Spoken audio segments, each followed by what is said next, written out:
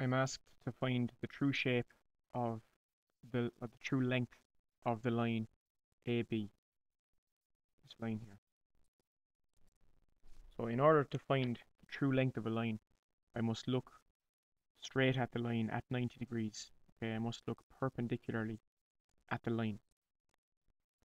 So I can do this from either the plan or the uh, elevation. If I project from the plan, I must take my heights from elevation. If I project from the elevation, I must take my distances from plan.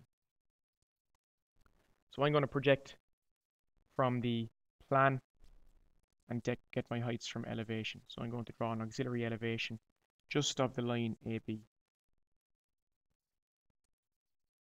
So I must project from the line perpendicularly to AB.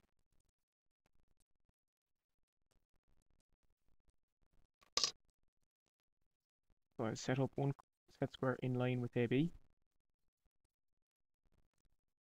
And I project at 90 degrees from A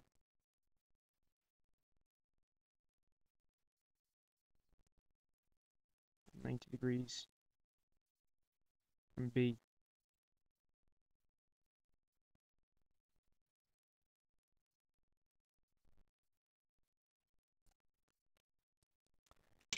Okay, I then take my compass. Because I've projected from plan, I now take the heights from elevation. So I take the height from the XY line to A1. That height there. And I step it off.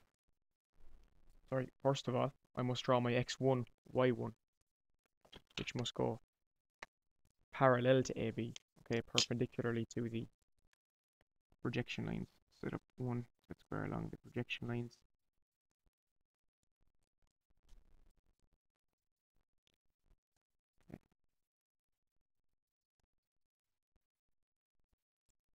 There's my x1, y1 line. And now I can step off the distances. So the distance from the xy line to A1, step that off on the x1, y1.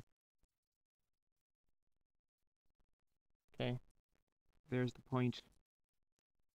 A1 and the same to B1 from the xy line. To B1 step that off.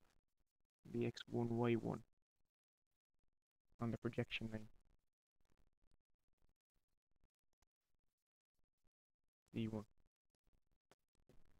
So if I join those two points,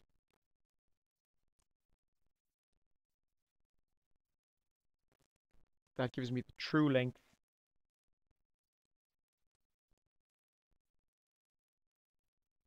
of AB.